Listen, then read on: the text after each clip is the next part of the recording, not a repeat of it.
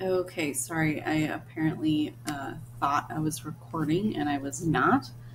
Um, so we're back here on the prioritizing hypotheses. We're thinking about uh, how we're assessing our patients in terms of uh, severity. Uh, we always want to make sure that we are assessing airway uh, and oxygenation if we ever have a patient who's struggling with that. Um, one thing we're also thinking about in terms of potential diagnoses is uh, ineffective airway clearance. If we have um, someone who has uh, thick secretions in their airway potentially.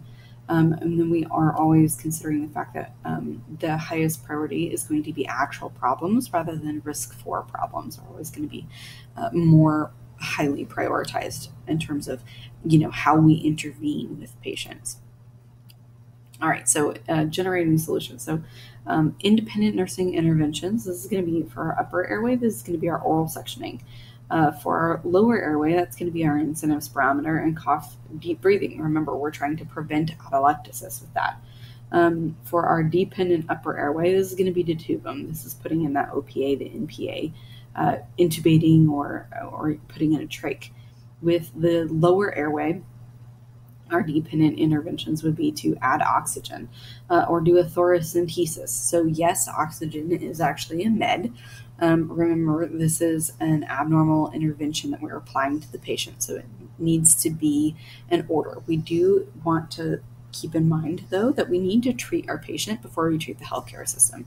Put the oxygen on the patient and then deal with the consequences later no, we can't technically apply oxygen without order, but if we're uh, assessing a patient and we're finding something abnormal, these are unexpected outcomes. If we're dealing with unexpected outcomes, we need to call the people. Um, so we are thinking about this incentive spirometer. We're thinking about pursed lip breathing. What we're seeing when we see pursed lip breathing is that the patient is trying to blow off CO2. Um, it is prolonging the expiratory phase and actually allowing for that CO2 to be blown off. However, uh, both of these, all of these interventions are secondary to doing just what the body is meant to do. We need to get the patient up and moving. Um, if they can get up and move and breathe, and all this other stuff, it, eh, sorry, if they can't get up and move and breathe, then all this other stuff applies. But we really want to get them up and moving so that they're breathing effectively first. That's really our first step. Um, and then we have our uh, oxygen interventions. Um, so this is going to be our nasal cannula. This is from least invasive to most invasive for this slide.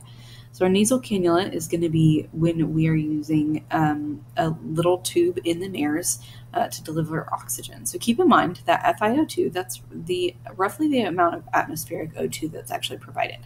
Air is going to be around 21% of oxygen. Um, if you look at this here, you'll notice that one liter of oxygen via nasal cannula is only 20% of the atmospheric O2. So this is not actually going to be truly therapeutic, especially for an adult. For ch- children, it's a whole other matter, right? But for children who have those, or for adults who have those nice big lungs, uh, if our patient's hypoxic, we really need to put them on at least two liters. Um, and then this is going to go all the way up to six liters for a nasal cannula. Uh, once we are going above that, so 6 to 12 liters, this is going to be the simple mask, the second picture here. Um, what we are keeping in mind with this, there's no bag on this one. Uh, if we are using less than six liters, what's going to happen is CO2 is actually going to build up because there's not enough air uh, in the mask to clean it out. So we're basically having them breathe in a paper bag. Um, if we have a non-rebreather, that's this last picture here, this is going to be 100% FiO2. We can put them on this for 10 to 15 liters per minute. Um, this is going to be short-term only because this patient is very sick. This is not okay. Um, and then we have our invasive methods. Uh, this is going to be our CPAP. This is a continuous positive air pressure. So it is during the inhalation phase, it's actually forcing air into the lungs. The main reason we would see this being used is for sleep apnea. Um, and then we have BiPAP. So this is a bi-level. Uh, it's both the expiratory and the inspiratory phase. It's pushing air in and then sucking air out. The BiPAP is actually a ventilator. The only difference is that we haven't put a tube in their airway. Um, it is still external ventilation. These are very sick patients. Um, And then we have intubation and trach. These are just ways to keep the airway open to deliver all of these interventions. That's really all these are.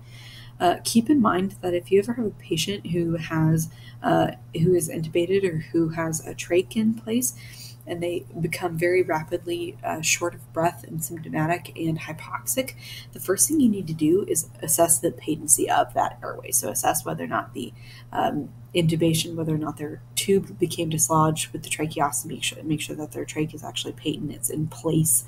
Uh, so that's the number one thing we're going to do. And if it's not a patent, we're going to provide them a patent airway. And then, of course, we're going to call for help from all the people um, so for our chest tubes, that's what these guys are. Um, this is when we have that pleural effusion. Remember, we took put the needle in, but this was just to get some fluid out and to give it diagnostic, figure out what type of effusion they have. Now, if they have an effusion, we know it, we need to drain the fluid off. So we are either going, we're going to put in a chest tube. All the chest tube is, is a Foley catheter for the lungs. Um, this is going to be a gravity drain. It is sterile on the inside. It's just a little bit more complicated because of pressure. So we have fluid in the lungs, around the lungs. We're going to put a tube into those pleural spaces and, and drain it out. Um, so with chest tubes, uh, ch- the chamber A is going to be that suction strength. It could be dry versus wet suctioning, depending on what the physician wants. Uh, we really don't see wet suction very much anymore. It's usually just dry. um, with chamber B. This is our uh, water seal chamber. This is our most important. This should move with ventilation. So the ball should move up and down with ventilation as the pressure changes in the thorax. So when the patient breathes in, we have negative pressure, so that ball is going to go up. When we breathe out, we're going to have positive pressure, so the ball goes down. If the ball is not going up and down, the system has an air leak, and that's bad. Um, also, if we have an air leak in chamber C, we're going to see bubbling. So normal is no bubbling.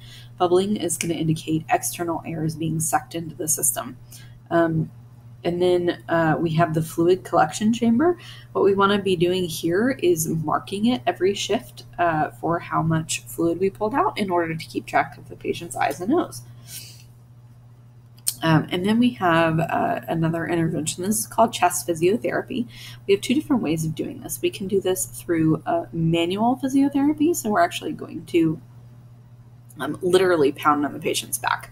So you're going to put the unaffected side down, and then on the affected side of their lungs, you are going to pound on their back, and you literally just pound on it, and it helps to loosen up all the thick secretions. We also can use uh, vest physiotherapy. This is something we see a lot with cystic fibrosis patients, uh, especially those kiddos. They'll put on this vest that you can see here, and it's going to do the exact same thing as the manual uh, physiotherapy, just through the vest. So it's going to pound on their chests and actually help loosen up all those very thick secretions so that they can then uh, clear their airway and get it out. All right, so when we're evaluating outcomes, we're really just reassessing all of the things we assessed to begin with. So our normal outcomes would be to have a, a healthy respiratory rate, that 10 to 20, uh, adequate oxygenation, so that SpO2, that perfusion, uh, we know they're oxygenating effectively, and then our end tidal CO2, we're um, having effective exchange of the respiratory gases. That's what we want to see. Then maintaining their own airway. Um, are unexpected, this is when things go wrong and we need to call for help, right? This is the trach becoming dislodged. This is the uh, air, tracheal deviation that we see. This is our patient declining and uh, needing to be placed on a non rebreather mask. Uh, so these are our sick patients. Um, just uh, think about what we would expect to see. We want to see, you know, the patient's oxygen saturation improving, uh, their mental capacity would be improving, their uh, ability to tolerate activity is going to improve with improved oxygenation. And I'm going to pause this real quick. And keep in mind that if we're going into a room and we're assessing, you know, an abnormal outcome where a patient is um, short of breath and they are laying down flat, one of the easy things you can do, which would also be an independent nursing intervention, is to change their position, sit them up. It's easier to breathe when you're sitting up, right? This is why our patients tripod. Um, so change their position, provide them some oxygen, and then reassess. Is their respiratory rate better? Is their SpO2 better? And then we're going to continue on that cycle of uh, care delivery.